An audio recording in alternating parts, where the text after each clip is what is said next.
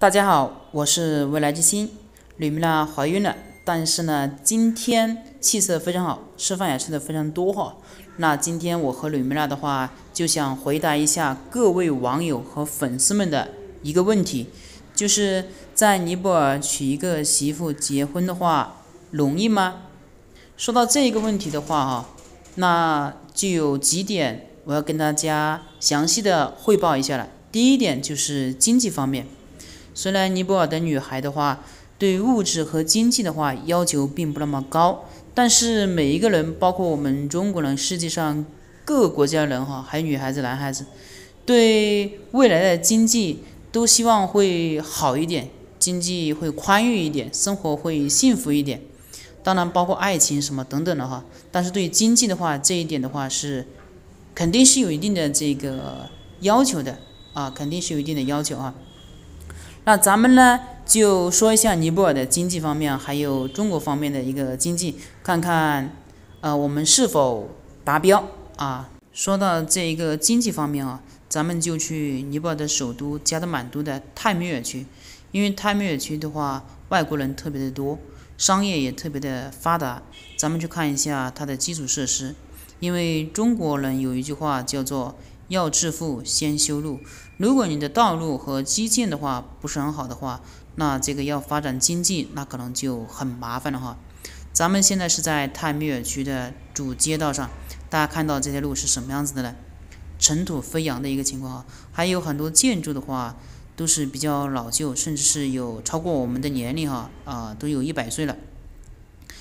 而且它的这个房屋的楼高的话，大概也就五六层。很少高层的很少啊，还有就是尼泊尔的人均工资，他的工资的话，一个普通服务员的话，可能就五六百块钱一个月的人民币哈，那就感觉是非常的少。还有人均 GDP 的话，是一千一百美金。二零一九年我特意去查了一下哈，中国的人均 GDP 大概是一万美金左右吧。所以从这个经济方面的话，我想问一下各位伙伴、各位粉丝哈，啊，你们达标了吗？应该从经济方面来说的话是没有问题的哈，再加上尼泊尔女孩的话，对于经济要求的话并没有太多的要求，啊，当然有一定的要求，但没有太多的要求，所以我相信各位伙伴应该从经济方面来说的话是问题不大的一个情况哈。那么接下来的话再聊一下风俗。啊，他们的风俗有一个最大的风俗问题，就是尼泊尔女孩的家庭的一个阻力。如果他们家庭不同意的话，哈，啊，那你们能不能结婚呢？关于风俗，咱们问一下吕明。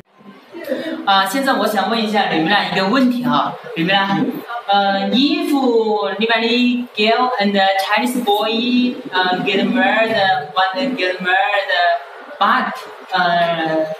Lebanese girl family, father, mother, brother, sister don't agree. Uh, how to do? Uh, what happened? Mm. Yes.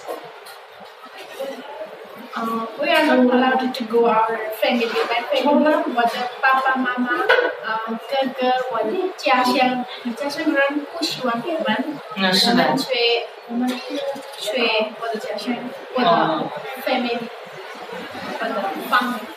不去你的家乡。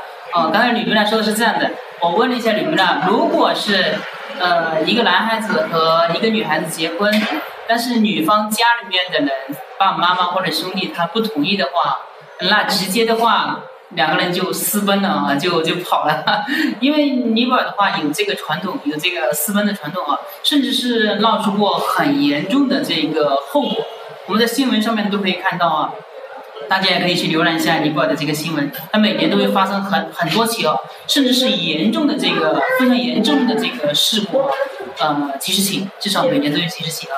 这是尼泊尔的有个传统，女孩子的话，非常的这个独立和这个要强的一种感觉吧。刚才我们讲了两个方面，一个是经济方面，还有一个是风俗方面。从这两方面来说的话，好像并不是特别的困难。当然。呃，很多的话还是取决于自己的个人的哈，个人的自己的魅力啊。